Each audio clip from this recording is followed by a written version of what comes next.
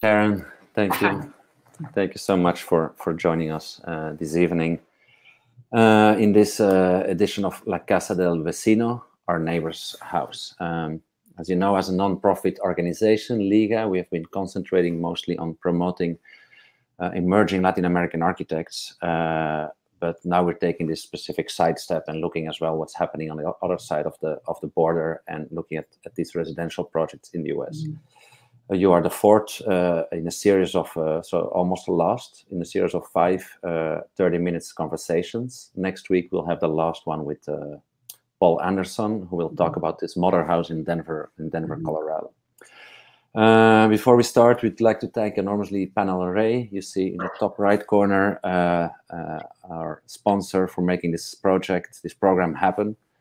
And we like to welcome the people as well that are joining us through the network of Arquine and uh, Mexteropolis, their, their streaming channels. So uh, Sharon, thank you so much for willing to do this. It's uh, super kind, and I really see it as a support uh, that I've always received from you guys for to, towards Liga.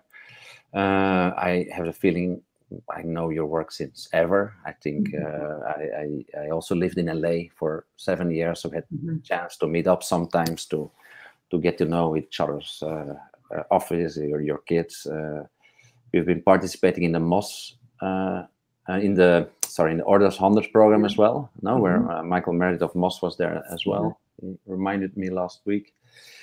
Uh, Johnston Marklee has beaten Productora in competitions, and you have also invited us as curators to the Chicago Architectural Biennial. Uh, and and so it's it's a pleasure to to have this conversation about what for me is a very very specific, uh, uh a really interesting project, the, the Vault House. Mm -hmm. and the last thing that I remember as well, uh, Mark uh, at a certain moment also wrote a text for Liga for the exhibition of Diego Arraigado, the That's Argentinian right. architect. -huh. You yeah. did the house together in in Argentina. So a lot of connections, uh, and and I really would like to present the house to to my public, and I'm going to give you the floor to start talking a bit about the general idea of that uh, of that building.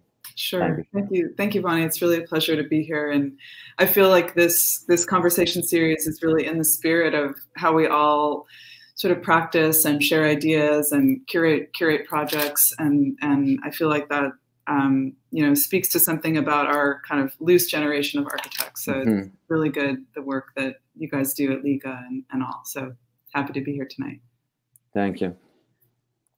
So um, for those who don't know it, can you guide us a little bit through the basic uh, yeah, please. ideas? Arturo, can you bring up some images? Yeah, thank you so much.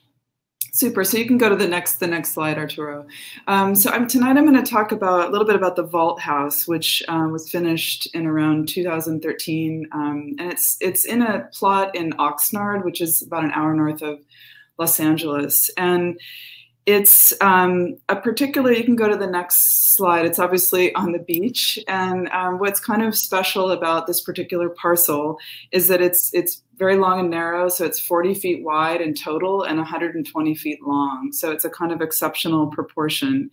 And the other thing about it is that on the north side of the house, it had a weird sort of setback. And so we're 15 feet, um, we can extend 15 feet out further than our neighbor. So I think the the kind of first things that um, became kind of conditions for us is addressing this long and narrow site, which we which we do by adding a courtyard, which is that square that you can see um, in the middle of the bar, and then also capitalizing on this kind of not totally symmetrical shotgun, but this long um, the long narrow house that has this sort of appendage that offers a view to the north. Um, and this was for a family who was a couple and they had their daughters were sort of starting college and but they're quite a social group. And so um, if you could go to the next slide the idea that we generated with um, with our clients was to think about a, the house as a collection of rooms. And um, on the one hand we had a very tight envelope um, which which is maximized in the project and represented through this rectangular um, plexi box and the idea of this collection of rooms that are all oriented in the same direction, which is in the east-west um, orientation towards the ocean, was that you could be in sort of any room in the house and have views and light and air and such all the way through. So it could sort of open and close a little bit like um, like a kaleidoscope. And in the next mm -hmm. slide, you can see how they're all sort of packed together and oriented in that way. And to a large extent, we, in this planning idea, we eliminated the sort of service spaces that you typically see in a house like corridors and such so that there, there ends up being a lot of contact between the rooms and less of those sort of threshold spaces that you might normally see that create privacy and, and a more traditional house, house plan. Um, and the next image diagram, it sort of captures this idea we had about you know, it's very much a response to the climate, to the view, um, so that not only is the view drawn all the way through those 140 feet, um, but the, the, the, rooms that are furthest away from the view are the, the guest bedrooms. But even from those rooms, you have that view. You also have light and air passing through the house that's amplified by having a courtyard void halfway through that 140 feet. Um, and the next slide, I think, captures um, this book has sort of been a bit of a Bible for mm-hmm. us, especially for our work here in Southern California. And Banham talks about in this book the, the four ecologies of Southern California, which are, you know, of course, um, the beach, the plains, the sort of suburbia, the foothills, um, so the hillside, the hillside um, topography, and then also autopia. And so I think for us, the project was interesting because it we were really trying to take on the beach house, which is of course, a sort of canonical landscape of Southern California, but in a way, a sort of under-examined type. And so, I think for for for us, we thought about um, if you could go to the next the next slide. In a way, it's a sort of hybrid of a kind of shotgun house, the sort of long, narrow um, residential typology, with um, with with a kind of courtyard. And so the two of those together for us were sort of encapsulated in this collage, which which you know, Wonne, is sort of a, a language of, of, of representation that we've explored where by you know just distilling the idea of this plinth that hovers over the landscape and the, the rooftop of Casa Malaparte just hovering over mm-hmm. um, the landscape um, and the horizon of the Pacific Ocean somehow is this sort of volume volumetric expression that sits on this raised ground is really the um, mm. kind of essential expression we see of the house. I maybe later want to come back to this idea of how you work with collage and that, that relation to history, because of course I immediately recognized the, the Malaparte. Um, when I moved to LA, I was super surprised by these beach houses, uh -huh. how like the, the, the shotgun quality of it. You know, yeah. like you see them all uh, uh, next to the highway, especially when you drive up uh, through uh, above um, uh, north from from LA, uh -huh, all the Pacific Coast mm -hmm. Highway. Uh, it's really this urban setting, and and uh, it's strange when when you think of the beach house, you don't immediately think of such a such a shotgun uh, right. setting, you know, with these houses like almost row houses one next to the other. Uh, and so when we've been doing this program about the, the, American the American houses, the, the, the, one often thinks of this banal plot of a sort of yeah. suburban setting. Um, but in your case, it's it's something very different. It's a beach quality, but it also has this urban quality of the of the house, and of course, it has the ocean right in front of you. Can you talk right. a little bit more about that uh, relation, how the yeah. project relates? Mm -hmm. Yeah, I think it's it's right that it is really shocking how you know, given the sort of extremities of the beach on one side and the road or the highway on the other, that the sort of normal the normal planning of these shotgun beach houses, and that was sort of a starting point. So if you could go to the next slide, Arturo. Um, a, there were a couple sort of other conditions that were really specific to this beach and every beach is very different depending on its landscape and width and kind of where it sits along the California coast. But one of the other exceptions here was that we're in a tsunami zone and so we had to raise the mm -hmm. house. Um, I mean it's a kind of cal complex calculation but the reason it's raised up is to address the tsunami zone so that the water can flow underneath and then if you'll see in the in the subsequent slides that it sits back on the on the wet on the east side so that you can have the garage at grade. But all of the construction on that east side is made of breakout walls. So if there is a major tidal event, all the ground floor at grade walls just collapse. Um, not of course the structure, but that that was a sort of another eccentricity of the parcel. And then I think also the narrowness of it, that because it was so narrow, we started carving out things like this that you see on the left side of the building, which is no, where a visitor would come. Yeah, that sort of carve out so that, you know, besides the shotgun inside the planning, just how you approach these houses is often very unceremonial, just kind of in a five foot setback between you and your neighbor. So carving that out, trying to create an in-between space um, as a circulation zone. And then um, if you could go to the next slide. Um, so you can see how that that raised bit, which is often a very kind of undesigned. I mean, all of these houses are built on piles, so it's driven piles into the sand and then they're raised. But for us, we felt like because the sand topography changes a lot with different um, throughout the year, that we felt that lands that was also a kind of very visible landscape of the house. So we brought that framing and that sort of spatial language all the way through the section into that um, kind of tsunami zone as well. And then I think finally in the in the last slide here, and um, what what the other kind of way that we address this problem of the shotgun, as I mentioned really briefly, was introducing a courtyard. So in the top image on the long elevation, that upside down vault is um, capturing an open space in the middle of the house. And I think that was really important to bring light into the whole building. So like the master bedroom sits between that courtyard and the living room. So really from every zone of the of the interior, you you have a connection to, to natural light and air, and you don't that that shotgunness is um, sort of offset by how the building works in section. Mm-hmm. Uh, you've talked about a lot of things now, but not maybe the why the building got the name the Vault House. No, yeah. that's of course like how did you uh, where did your inter- interest to start working with the vaults come from in this in this project? Yeah, I think that it came from, I mean, as I showed in the first couple of images, um, that trying to find a kind of single integer of a room that could be multiplied. And, and while it's the contour, the kind of profile of the vault is different in pretty much every room, it somehow created a, something that unified them as a collection. And so if you could go to the next slide, um, what then, I mean, so it, it came from, you know, both a little bit of a, kind of nod to um, this sort of Spanish, kind of pseudo Spanish style houses that are somewhat in this in this neighborhood, but across Southern California, we're also thinking about like Irving Gill and the the the, the tilt up walls of Irving Gill and how he used um, the arch. So the arch is really more of the kind of historic lineage, but we were interested in extending that as a volume, so turning the vault, the arch into a vault, so a unit of, of, of a volumetric space.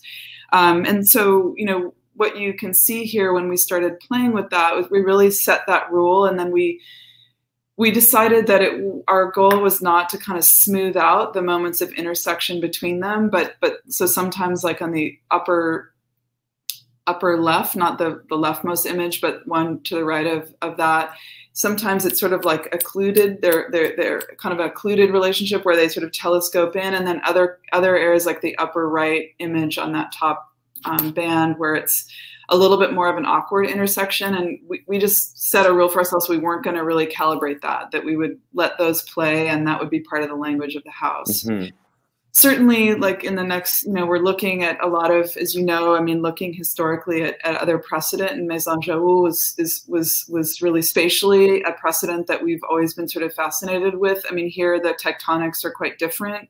So for us it, the sort of volumetric of of this house and the kind of orientation was important but um you know i think we'll talk about it in a minute but you know one of the i think something that especially in these early house projects that has been always um, a kind of attribute of our kind of design input is really thinking about methods of construction, especially in, in America, which are really in a way quite crude. And so thinking about the difference between the sort of tectonics of how you build the house and the kind of spatial landscape is something mm -hmm. that um, perhaps is a point of departure from from Jaoul, but but but the kind of spatial effects we, we find some relationship with. Mm -hmm.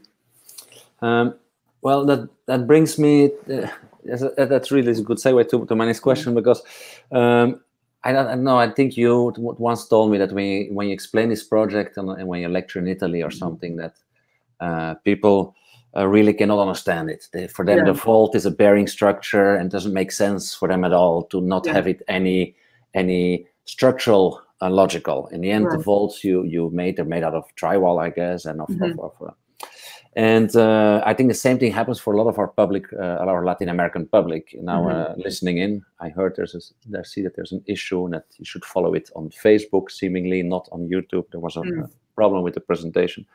Um, but the material and tectonic expression is, of course, also really key to the yeah. development of modern and also contemporary Latin American mm -hmm. architecture. Mm -hmm. I mm-hmm. think Um, but in the US, like key uh, architects, makers, thinkers like from Hejduk to Eisenman, mm-hmm. and certainly Frank Gehry, uh, mm-hmm. they have kind of demystified or, or, or, or, taken away that importance of the role as uh, the structure as a guiding principle to right. organize architecture, no? Right. like in a very provocative way, I would say. Uh, so, so of course, I read the arches in your house, uh, mm-hmm. not a structure, as they are not structure. Mm-hmm. Um, and I think you show that you kind of throw some of the arches you throw them upside down in the facade right. to just right. give the visitor already an idea like hey this is not this is not structural this is right. a this is a geometry this is not a structural system um, and and and in another one you cut even some the legs off you know it comes mm-hmm. down it, it goes exactly. back off uh, like exactly. i think these these are kind of these moments where you, you try to inform our, our, our, our the yeah the, the visitor that of, of your game uh, of your play um, and, and that reminds me, like in a conversation we had like many years ago in in a, in when we were doing a, a conversation for Plot magazine in mm-hmm. Argentina. And you said uh, that you didn't see geometry as a structural system, but rather as a system to define architectural intentions. Mm-hmm. You know? And you said we use geometry with an opportunistic attitude rather than with a moralistic one. Mm-hmm. And I find I find that really interesting. Uh, like to say to see that not as a moral problem, but as a mm-hmm. formal problem and, and, a sort of provocation as well. Mm-hmm. No, can, mm-hmm. can you speak to that idea of, of working with with with the vault? Yeah, yeah, and mm-hmm. maybe Arturo, we can just go through a couple of images. Um, um, well, where you can flip through a few of these. Um, but that just so folks are oriented. But I think it's I think it's really right. And one thing, Wonne, that you know when we really started our practice, Mark had just come back. You can advance um, a few more. Um, he'd just come back from four or five years in Switzerland, and you know the sort of precision of construction mm. was probably it doesn't get much higher than that. Um, you can you can um, advance again, and you know, I think when we started our practice with very sort of like prosaic projects, I, I think we, um, I mean, certainly following in the lineage of of of Gehry among others, that you know really addressing the the idea that that that how a building is built and what its kind of spatial and formal geometry, those things could be disconnected. But we just didn't mm-hmm. have the kind of budgets and the calibration and the and you know at the same time we have very pretty strict seismic codes that we felt kind of liberated to one not to try to embrace the sort of in a way um, not maybe crudeness but but but chunkiness and lack of precision in American construction as a kind of method of working. Um, and you could you could go ahead again in the slides. In a sense that you need something to to to, to finish afterwards. That yeah, structure way, uh -huh.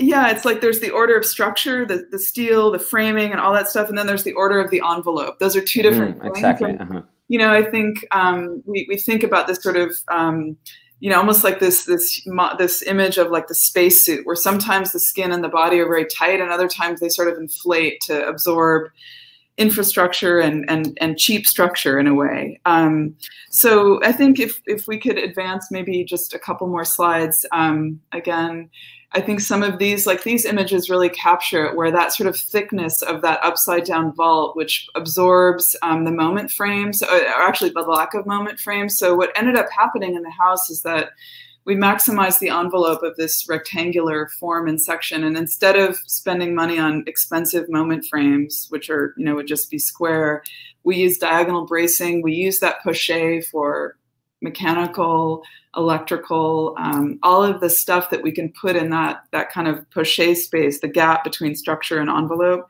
and that becomes a kind of um, yeah. I think we're very opportunistic about that. So yeah. that so you allow this you allow this thickness, no? Like, yeah, well, it's all about making things as thin as possible. Yeah, like this. Uh, uh, yeah. Refined architecture. Right. Here it's that right. that mass I mean, it's, it's really true what you say because we have the same problem. For example, when we work in, in, in Mexico or work in the US, we have to put a completely different, uh, uh, we have to use a completely different approach because, of course, the, the, the structural expression, I mean, yeah.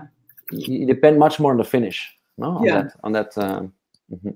Right, right. Um, I, I, included, we almost never show these, but um, in a couple of slides, you'll see some uh, um, an image of how the the construction of the house. And it's all, it's basically a little bit of steel and mostly timber.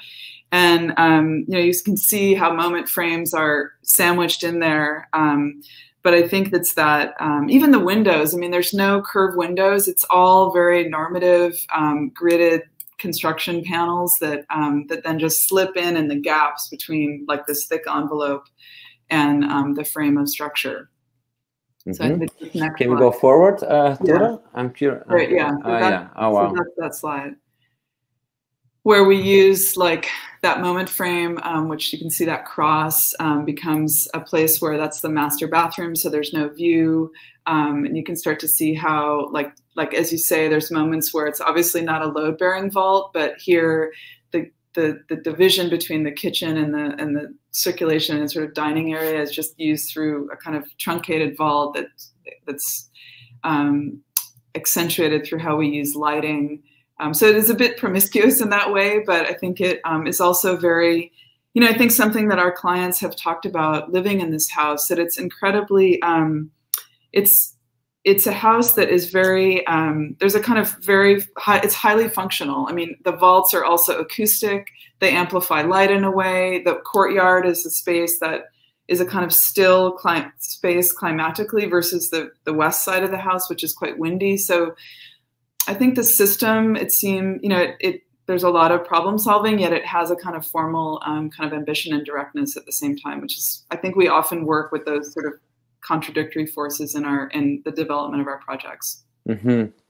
Yeah, that brings me to another thing, and I don't know if we can see that on more finished pictures. I don't know the, the, yeah, next pictures. Yeah. But um, there's absolute uh, cleanness and, and, smoothness. You know, mm-hmm. like the um, it reminds me a little bit of one of the first Productora projects, a house in Chihuahua with it. Mm.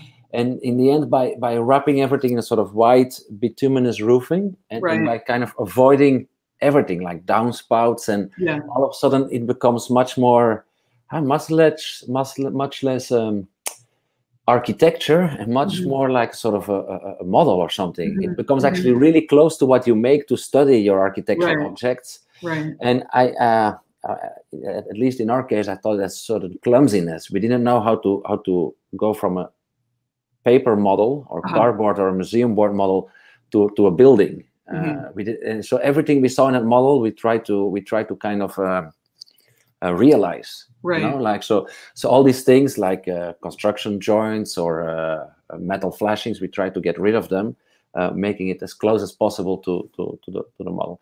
Right. These spaces as well, they look like precise uh, rhino drawings or something. Uh-huh. Uh, can you speak I mean, to that? To that? Yeah, yeah. I think it you know it comes from maybe two different directions, and you know, one on the one hand, it's a very sort of prosaic problem, which is this is at the beach and so it's a pretty extreme climate to build you know to build buildings it's really really wet and really really salty and so it was a very pragmatic decision like to have as few details as possible because wherever you have a detail wherever you have exposed metal you have corrosion. yeah. Yeah.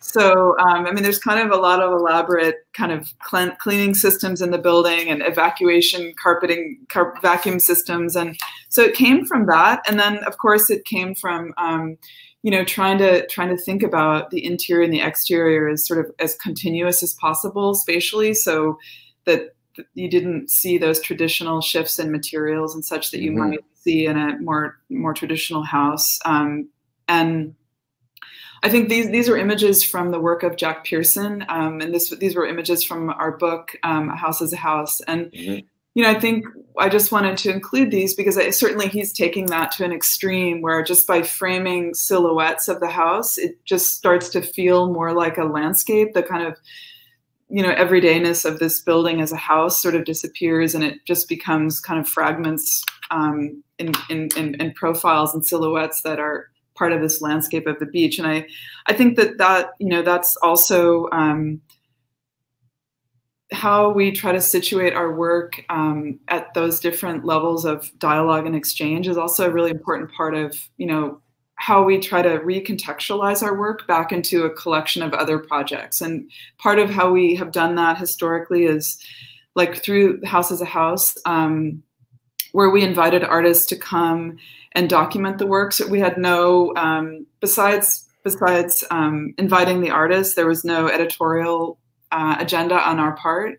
And so we find this process of sort of building projects and then having having artists represent them to us is a really it's kind of extends that feedback loop of mm-hmm. design development and um, and you know it's become both like with the collage i think that's another mode of in a way kind of recreating a new frame to see the work again uh, is kind of a, a, a, key part of how we uh, both publish the work but also look back at the work and find relationships between projects mm. historically within our own practice. These are from um, another another presentation by um, Torbjørn Rødland, um, which where he created this sort of fictitious, strange crime scene um, with the vault house as the sort of um, I don't know um, site of site of site of the crime. so yeah, I think that that idea of seeing the work um, through through other through other artists' hands is is is is a key is a key practice that we. Um, I was also I was always curious when I first saw images of the house. Of course, in the main living room, there's this huge sculpture. Right. And since the house is so uh, immaterial one way or mm-hmm. another, like so model-like, you mm-hmm. know, like, and all of a sudden when you saw the sculpture, which also looks like with the from at first glance a bit like a sort of model scale picture mm-hmm. it gave a sort of very awkward uh, um, yeah confusion of that exactly confusion uh-huh. of, of, dimensions and and uh, and that's that's a work that uh, you you you decided with clients so that's something that the clients had it was in the house and you know we there was no moving that thing. So that um, so that stayed I will confess that it's actually quite colorful in its in its reality. So we did photo. so wait a minute. So the thing was already in the house when you start. Uh... No, no. But when we took the photographs, it was already there. Okay. So there's okay. of course obviously some editorial, some editing out here of furniture huh. that we that we um, relocated for the photographs. But that piece. Oh, that's interesting. Yeah. Uh-huh. so um, if you if you um, I might want to come back to the to the to the, to the topic of the of the collage, but yeah. Uh, I asked you as well, like, how does, does this project relate to several other works of uh, of uh, Johnston Marklee, no, of your practice? Uh, very different architects have different relations to the to the residential project. Yeah. Some it's kind of a sort of continuous core of their practice, mm -hmm. although nobody really would like that. we would all like to do complex public buildings, mm -hmm. but it becomes a sort of continuous exercise uh, that mm-hmm. that that's sort of uh, yeah probably a lot of times one of the only constant kind of repeated exercises on the, right. on the drawing board so how do you how is this house related to the rest of the of the of the practice or the work of uh, of, of Johnston yeah i think you know it's true that i mean we we certainly especially in southern california we started our practice working on small residential projects but you know, I think we've we've continu- we do less of them, but we continue to find them really important. Um, you know scales of research and we, we had this interesting moment once we were interviewing for something a kind of big interior project at lax the airport here in la and we were sort of wondering why this virgin atlantic airline airline company wanted to talk to us and they said that they felt that if you you know were well well trained and understood how to design a house that you could design anything like the kind of and designing a space. This was an airport lounge and so the sort of comfort of home um, and the intimacy of a domestic space they saw as relevant for for this this kind of lounge environment. And i think we've really taken that to heart. I think um, it sounds like you you interviewed them instead of yeah, yeah. I mean, you know, this idea that you know to feel um, the kind of generosity and comfort one wants to feel in a concert hall or a museum or a house. I mean, I think we're all humans. We, we, we really strive for those qualities that, you know, you can be in a hall of a public space and be one or two people and still feel a sense of comfort. And I, I think for us, we feel the training of, of thinking about the, the domestic space is, is how we sort of keep that, keep that intensity and the connection to, um, to to kind of how a person human feels in a space. And I mean, I think the last couple slides are are looking at um, besides her, um, she's part of that um, artist event. Uh-huh. Um, but um, I think that you know there's a body of work that while we're doing less of these smaller buildings, that we um, that we find this kind of small scale, um, kind of singular object buildings that begin to sort of multiply and become a little bit more urban, a little bit more engaged in the public realm that they're they're still really important to us. They um, you know, we we think a lot about one of the things that I think is important about the Vault House that I didn't really speak about. You could you could keep keep advancing. Um, was the kind of bit of a radical disjunction between the envelope and the the, the kind of form of the house on the exterior and the form of the house on the interior. And mm -hmm. I think in mm-hmm. all of our work, there's a bit of a tension between that expression, the sort of interest in maintaining a little bit of a sort of gentlewoman-like presence on the street. I mean, it certainly comes from Loos, but um, and then perhaps more formal ambition um, on the interior. And so a lot of the projects, you know, there is a kind of poche, there's a kind of difference between the interior formal expression of the house and the exterior. And I, I think that these smaller projects um, have all explored that. I think so. Questions about apertures, kind of thick and thin walls, um, how to deal with natural light have really been, you know, the residential projects have been a place um, of a lot of study of those things. This is your house in Argentina, for yeah, that we did with, Diego. With, with Diego. Yeah, exactly. Um, uh, maybe a last question. You always use as sort of the, the, the referential image for each project. I don't know if mm-hmm. you you generate one or but one becomes for me always the canonical image mm -hmm. uh, of your of your project. They're represented with these collages, and they always incorporate uh, yeah, um, emblematic uh, mm -hmm modern or pre-modern architecture uh, mm-hmm. that collage, which one would say is a bit tricky thing to do in the end, you know, mm-hmm. because you kind of relate your work to a specific work work out of, out of history. Mm-hmm. Uh, can you speak a little bit to that? Why? Because I find it very un-American in, in a sense, like especially um, uh, where, where, there's a lot of uh, emphasis on innovation, on mm-hmm. kind of, and uh, that very specific, uh, um, yeah, connection Mm-hmm. Uh, I find it really interesting in the way you you you, you place it in all your collages. Yeah, um, yeah. I mean, I think the very first one we made was was really early in our practice, and we were submitting the the Hill House um, for an mm-hmm. award, and it had not been built yet. And we were trying to really distill the kind of essence of the house. That's the kind of where we took the famous um, Julius Shulman image of Case Yeah, and you know, for us, it helped us distill the kind of essential conditions there, which were the kind of house with a distant view um, of the horizon and this sort of suspension, this corner window that sits over that view. And, you know, we, I, I think it was also important that we were, you know, I mean, it certainly relates, of course, to our interest in history and that somehow creating that dialogue with these um, canon, I mean, they, the first images were always using photographs, you know, not always Shulman, but largely Shulman, that referenced other works of architecture. I mean, the mm-hmm. vault, the, the view, the vault house is obviously from from a film, but um, I think we were we were interested in creating a kind of dialogue with those projects his, through history, and you know, we we of course have had to subsequently like you know produce renderings as part of our project um, kind of lexicon, but we're really resisting that in the early part of our practice, and so we were using these collages as a way to um, you know expand the sort of discourse around the project uh, mm-hmm. especially the single family houses which are so such a signature part of southern california's architectural lineage exactly mm-hmm. yeah mm-hmm. Well thank you sharon. Uh, it's been lovely to talk to you. It's been really great also to see these other images of the vault house like the, the, the structural images and stuff which things that are uh, i haven't seen i've seen less. Uh, I want to invite everybody uh, next week for our last uh, session uh, with the Mother House uh, by Paul Andersen by Independent Architecture in uh, Denver, Colorado. I want to thank again Panel Rey, and I want to apologize to all my friends that I seemingly sent a wrong link or something was wrong with YouTube. I don't know, uh, but uh, thank you for being here. Thank you for listening in, and uh, see you soon, Sharon. Thank you. Thanks, everybody. See you guys. Take care. Bye. Bye.